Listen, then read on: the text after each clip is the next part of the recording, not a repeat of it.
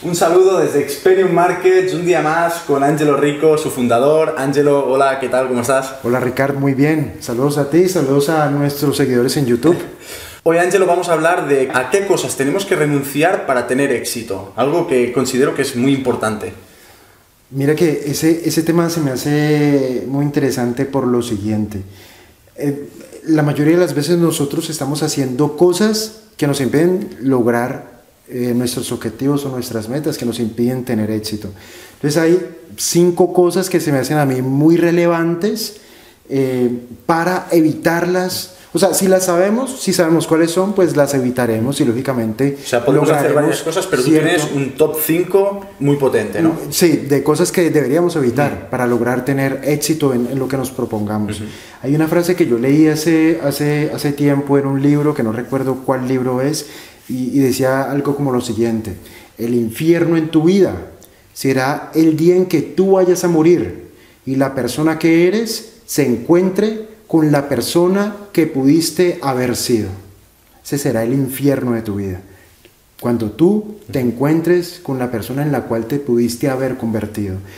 Hay un primer, como una primera clave para comenzar con este tema eh, y que probablemente nos impide, nos impide tener éxito a corto y a largo plazo. Y es esta, por ejemplo, si queremos tener éxito, primero tenemos que evitar el perfeccionismo. Muchas personas no comienzan algo, lo que sea, simplemente porque están esperando las condiciones perfectas. Y como las condiciones perfectas no existen, Jamás pues nunca comienzan. Las personas perfeccionistas. Esas personas perfeccionistas sacaban 10 o excelente en el colegio, o 10 o excelente en la universidad. Pero ese perfeccionismo tan valorado en la academia no funciona en la vida real. Tú tienes que comenzar con lo que tienes. Tú comienzas donde estás. Tú comienzas con lo que tienes en los bolsillos. Tú comienzas con lo que tienes en la cabeza. Tú comienzas con tu experiencia. Tú comienzas cutre. Tú comienzas, mira, cuando uno comienza un negocio, uno no invierte en muebles para la oficina, uno invierte en los clientes. Uno comienza con lo que tiene. Eso es evitar el perfeccionismo. Hay gente que dice, no, yo no, yo no comienzo mi negocio hasta que no tenga para alquilar unas oficinas o un local que sea decente, buenos muebles, muebles de diseño, hasta que no tenga secretaria, hasta que no tenga esto, lo otro. Pues lógico, es muy difícil comenzar a menos que seas Bill Gates tercero. O sea, es muy difícil. Tú tienes que comenzar con lo que tienes, tienes que evitar el perfeccionismo. ¿Por qué es importante evitar el perfeccionismo? Porque el perfeccionismo no existe. Lo que existe es la excelencia. Uno lo que tiene es que avanzar hacia, hacia la excelencia, hacia convertirse en el mejor en lo que uno hace. Pero eso que uno hace no va a ser perfecto, porque eso no existe, no existe la perfección. Aquel que se queda buscando la perfección, se queda eso, buscándolo, porque nunca lo va a encontrar y nunca va a comenzar sería la primera clave para... Eh, Buscar la excelencia, ¿no? Más que, más que la perfección. Más, que la perfección. Entonces eso es como el primer punto para, o, o, la primera cosa a la cual debemos renunciar para lograr tener éxito. Existe un segundo punto que es importante eh, tener en cuenta y que tendríamos que evitar para lograr el éxito, es evitar a toda costa tener una mentalidad fija. En, en economía, en inversiones, en emprendimiento, todo lo que prospera, todo lo que se expande, todo lo que crece, es producto de una dinámica. La dinámica tiene que ver con el movimiento. ¿Mentalidad fija quieres decir mentalidad cerrada, mentalidad de escasez? no, sí, mentalidad cerrada, hmm. mentalidad en el sentido de que hasta aquí llegué y aquí me quedo, mentalidad de que... Como autolimitarse. Una autolimitación, una autolimitación realmente uno, uno cuando se educa financieramente o, uno cuando tiene un, comienza a tener un elevado nivel de desarrollo personal, uno entiende que lo que se está es expandiendo. Entonces, por ejemplo, yo cuando comencé para mí, eh, la primera meta era, por ejemplo, por decir cualquier cosa, ganarme en un año 100 mil dólares. Pero una vez que llegas ahí, pues tú dices, bueno, pues, pues nada, pues ya estamos aquí, ahora vamos por otro número y uno va en términos monetarios, pero le puedes poner otra cosa.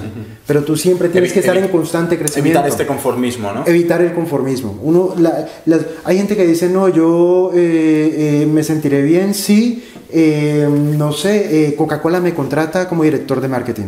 Entonces te contratan de director de marketing y ahí te quedas 40 años. No, o sea, tú tienes que estar siempre buscando la fórmula creativa para prosperar. Eso es tener una mentalidad dinámica, siempre estar en función del crecimiento, siempre estar expandiendo. Estar contentos también por lo que tenemos hoy, pero siempre buscando esta expansión que, buscando el más, ¿no?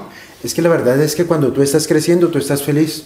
Tú estás creciendo, tú estás feliz. Sí, pero también es verdad que sabemos que hay muchas personas que dicen, no, es que cuando tenga esto, seré feliz. Llegan aquí, no, no, es que cuando tenga esto, seré feliz. Entonces no son nunca felices porque siempre tienen que elevar estos estándares, ¿no? Para llegar a alcanzar esta felicidad que se creen que está en un punto en el cual jamás llegan, porque cuando llegan aquí, su otra meta enseguida es esta, pero la meta que les produce felicidad siempre está por encima de la que del actual para... Eso es, eso es verdad, pero cuando tu resultado económico es producto de hacer algo que no es lo que te apasiona, pero cuando tu resultado económico es producto de estar haciendo algo que te apasiona o de construir algo propio, de desarrollar tu pasión, tú ya eres feliz incluso sin resultados, porque tú ya estás haciendo lo que te gusta y puedes estar, eh, puedes estar en la inmunda pero tú ya estás como en ese sentimiento de que ya comencé, ya estamos en el camino, estamos construyendo algo propio, nos, estamos expandiendo, entiendo claramente para dónde voy,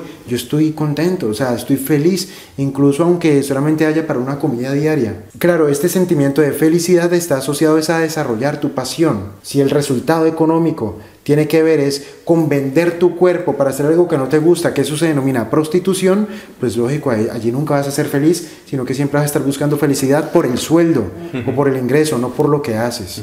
Entonces esa, esa es como la clave, pero la mente fija se refiere a eso, estar siempre en expansión, que haya dinámica de crecimiento y nunca tener una mentalidad fija, no simplemente quedarnos aparcados allí donde estamos.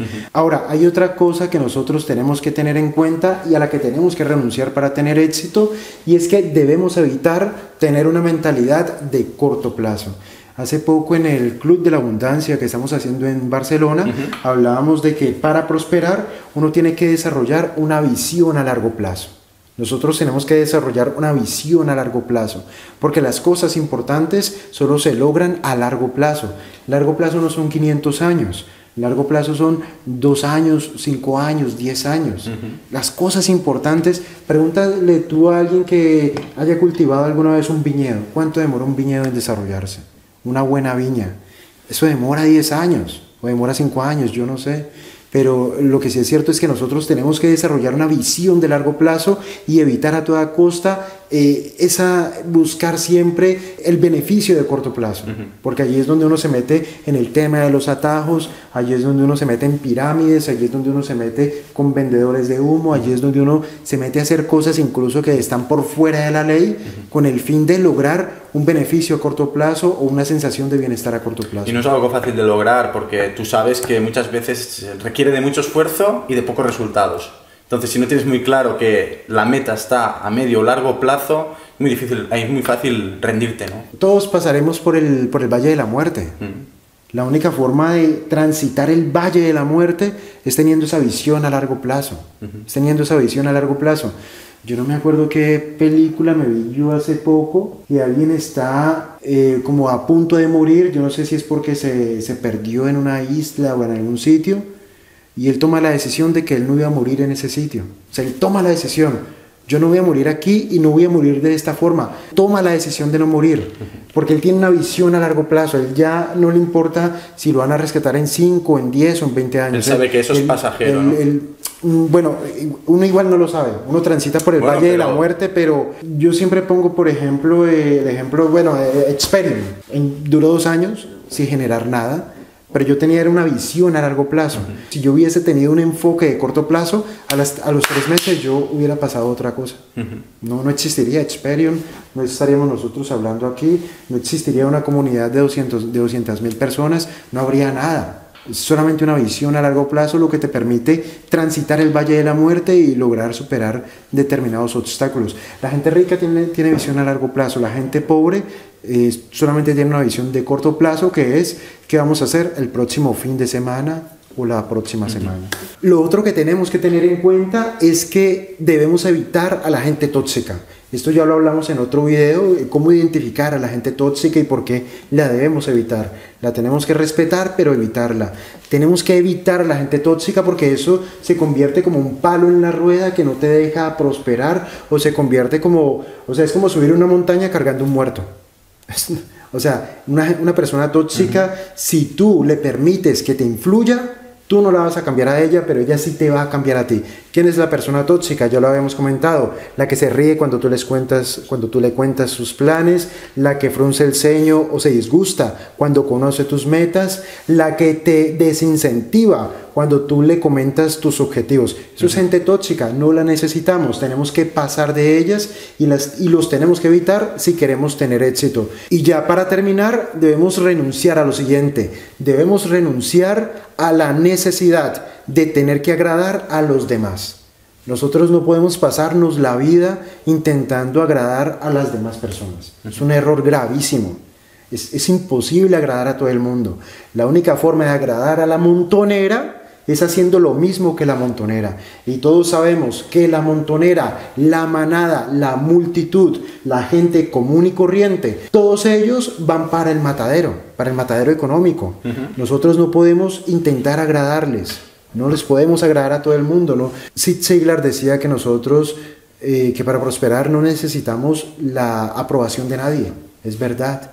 Nosotros, eh, mucha gente se pasa la vida intentando agradar a los padres, y por eso estudian cosas que no quieren. Mucha gente se pasa la vida intentando agradar al jefe y por eso se quedan en empleos que detestan. Mucha gente se pasa la vida intentando, intentando agradar al esposo o a la esposa y por eso tienen relaciones terribles, desagradables, cuando hace años se tuvieron que haber, se tuvieron que haber separado. O mucha gente eh, tiene negocios poco productivos ¿Por qué no? Eh, porque creen que si renuncian a dejar algo que no, está, que no está funcionando, la sociedad simplemente los va a atacar y los va a ver como fracasados.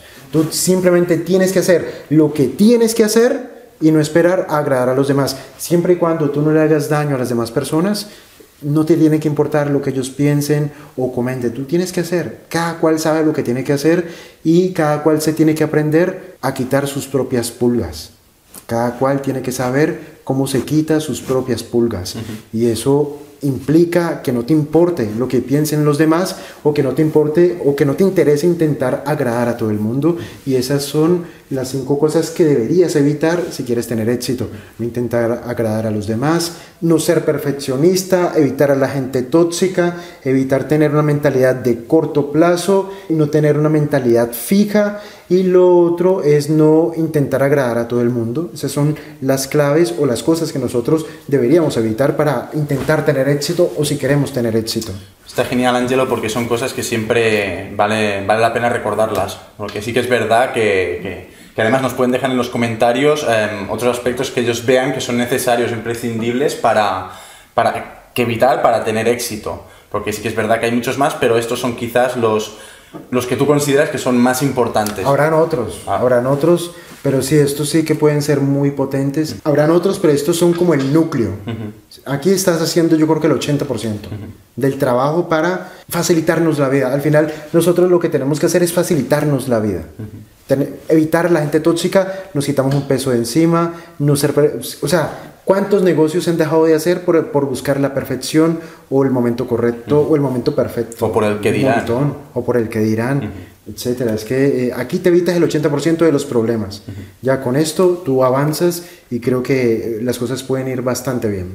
Muy bien, Angelo, pues lo dicho, em, que esperamos los comentarios de, de tus seguidores, que nos comenten lo que piensan del vídeo, ¿no? Si, si, si les gusta. Si les gusta, si no les gusta, que den sus opiniones acerca de los, de los ah, hábitos y, nada. Y que lo compartan. Y que lo compartan, evidentemente. Un saludo, Ángelo, a ti y un saludo para todos vosotros. Hasta, la próxima.